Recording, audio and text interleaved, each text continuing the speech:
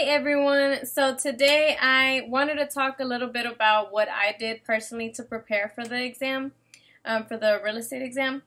Um, so first and foremost, um, I went to Champion School of Real Estate to take the exam prep.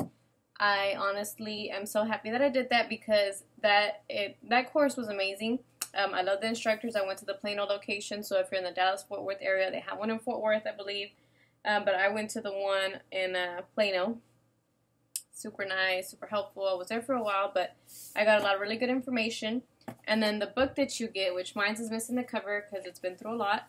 Um, this was a really, really good book. I read this book. I studied that book. I like that book was with me all the time, and honestly helped me a lot.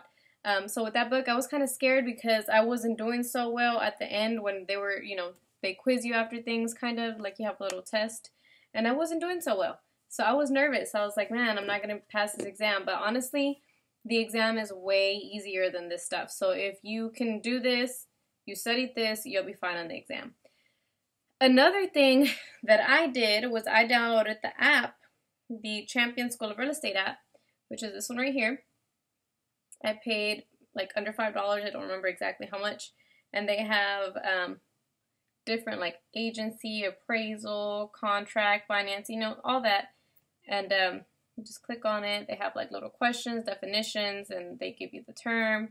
And uh, yeah, it was super easy. I love this. Um, I used it a lot. Like I was out, you know, wherever I was, you know, in the office, and I would pick up the phone and just go through stuff like that.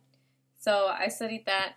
Um, and then I just set a date to take the exam because I kept holding it off. Like, I'm not ready, I'm not ready. But I'm like, you know what? This is the date. You're going to be ready by this date. And I set it and I went in there and I took it. And I promise you guys, it's not as hard as you think. So, yeah, I hope you liked the video. I'm going to be doing a few more series on real estate, like um, how to get into real estate, at least for the state of Texas. Um, you know, what all you have to do. And um, my first, like, 30 days in real estate.